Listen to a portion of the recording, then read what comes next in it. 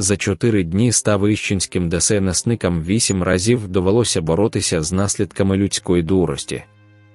24 березня, п'ятниця, село Гейсиха, один виїзд, горіло сміття на відкритій місцевості. 25 березня, субота, село Торчицький степок, два виїзди, горіла трава. 25 березня, субота, село Сніжки, один виїзд, горіла трава. 25 березня, субота, село Розумниця, два виїзди, горіли трава і очерет. 27 березня, понеділок, село Розкішна, два виїзди, горіла трава. Увага! За спалювання громадянами трави та листя передбачено штраф від 3 до понад 6 тисяч гривень. За порушення громадянами пожежної безпеки в лісі штраф від 1,5 тисячі до 4,5 тисяч гривень.